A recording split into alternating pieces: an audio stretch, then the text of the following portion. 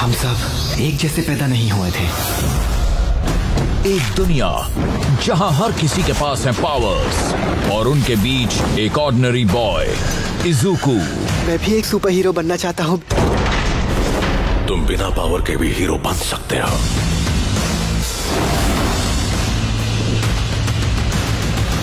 My Hero Academia starts 10 September every Sunday 1 p.m. onwards, only on Cartoon Network.